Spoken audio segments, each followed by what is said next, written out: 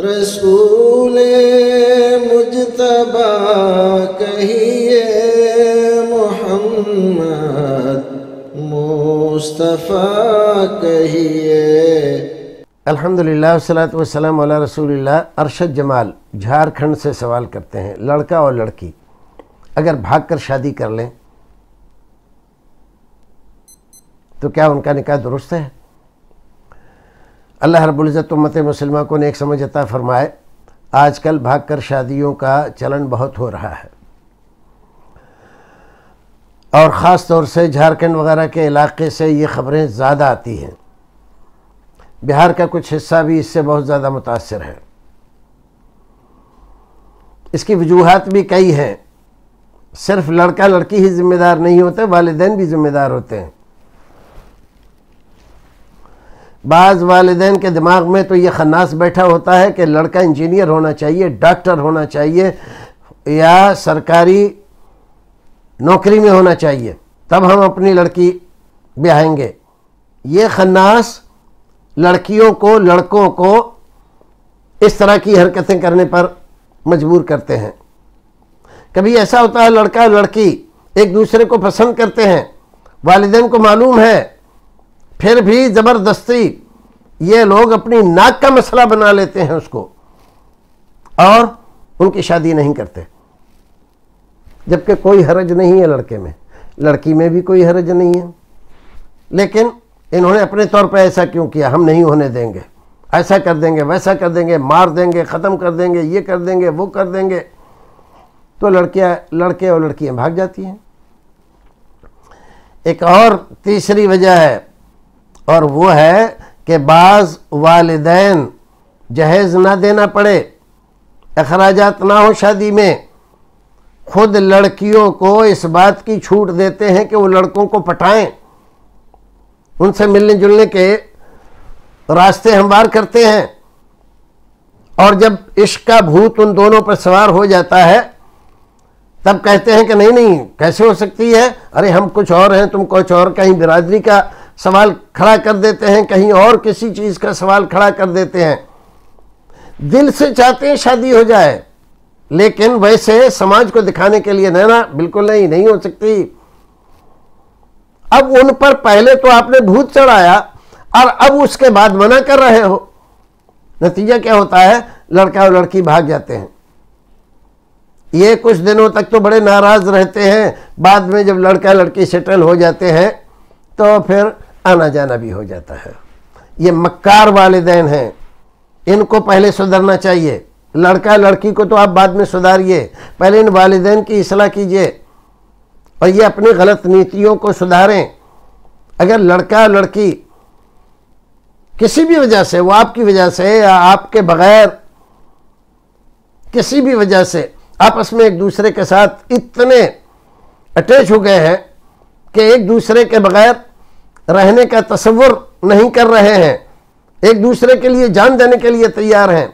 तो आप उसमें बिरादरीवाद निकाल कर इलाकाइत निकाल कर, उसमें खान व सैद निकाल कर, और उसमें कहीं पर मालदारी और गरीबी निकाल कर खड़े हो जाते हैं, मना करते हैं। लड़की भाग जाती है। फिर आपकी भी नहीं रहती, नाक भी कटती है, और ख़ानदान की भी कट जाती है। जिस नाक को बड़ा बनाने के आप कोशिश कर रहे थे, हमारा ख़ानदान हमारा ख़ानदान। काय बात का ख़ानदान। लड़की को इज़्ज़त के साथ तुम विदा नहीं कर सकते। उसकी शादी में तुम सरपरस्ती नहीं कर सकते। तो काय के बड़े बने फिर रहे हो? अब ये जाकर शादी कर लेते हैं कहीं। फिर अब मसले पूछे जाते हैं मौलवियों से। जी क्या होना चाहिए, जी क्या होना चाहिए, जी क्या होना चाहिए, जायज़ है कि नाजायज़ है, हराम है कि हलाल है? बग़ैर वली के शादी नहीं होगी, ये शरीयत ने कहा है। ये इसलिए रखा था ताकि लड़के लड़की ख़ानदान की इज़्ज़त को चौराहे पर नीलाम करने के लिए तैयार ना हो जाए। उसको तो आपने ख़त्म कर दिया। अब जब इस तरह का मसला आ गया है तो अब समझदारी इसमें है कि आप किसी आदमी को बीच में डालकर, आप शरीक नहीं होना चाहते हैं ना। माँ और बाप शरीक नहीं होना चाहती, चलो कोई बात नहीं। आप किसी और आदमी को, किसी और आदमी को कहें कि भाई, हम आपको इजाज़त देते हैं, हमारी तरफ़ से वकील बन जाइए और इन दोनों की शादी करा दीजिए। हम तो राज़ी हैं नहीं इस शादी से, ये लोग वजिद हैं, ऐसे करना चाह रहे हैं, कहीं ऐसा ना हो कि ये भाग खड़े हों। और जाकर फिर गंदगी करें हराम कारी की और जनाकारी की ज़िंदगी गुजारें आप इनकी शादी करा दीजिए। क्या पर, परेशानी है इसमें आपको? आप नहीं शरीक होना चाह रहे हैं ना? आपका दिल नहीं चाह रहा है अंदर से दुखा हुआ है बिल्कुल ठीक है आपकी नाराज़गी। आपकी नाराज़गी बिल्कुल ठीक है लेकिन आप इसके मुकाबले में कि ये भाग जाएँ और जनाकारी की ज़िंदगी गुजारें क्या ये बेहतर नहीं है कि आप किसी को अपना वली बन, अपना वकील बनाकर और उससे कहें कि इनका निकाह करा दो, वो आपके तरफ़ से वकील हो जाए, निकाह दुरुस्त हो जाएगा उनका। निकाह दुरुस्त हो जाएगा और वो आपकी मर्ज़ी के खिलाफ शादी कर रहे हैं। बाद में भुगतेंगे, देखेंगे, अपने आप। ऐसे आप इजाज़त नहीं देंगे तो या तो जनाकारी की ज़िंदगी गुजारेंगे, या भाग खड़े होंगे तो सारे ख़ानदान की इज़्ज़त लेकर बैठ जाएँगे। आपको हासिल क्या होगा? तो आप समझदारी से काम लीजिए। बहुत से घरों में ये समस्या आ रही है। तो इन्होंने जो सवाल किया है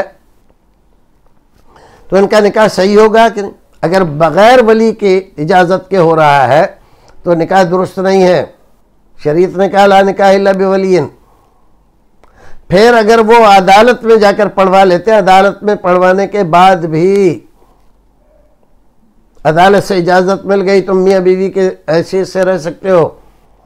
शरी तौर पर इनका मिलना, मियाँ बीवी की तरह रहना हराम है, ये जनाकारी कर रहे हैं ये। तो इस मसले को सुधारना ज़रूरी है। वालदेन को इस मसले में अपना रुख चेंज करके और उसमें वो रास्ता निकाले कि लड़का लड़की जिनाकारी की ज़िंदगी गुजारने से बच जाएँ। वो करना चाहिए। अल्लाह रबुल्ज़त हमें आपको, समाज को नेक समझता फरमाए। अल्लाम वरहमल वर्का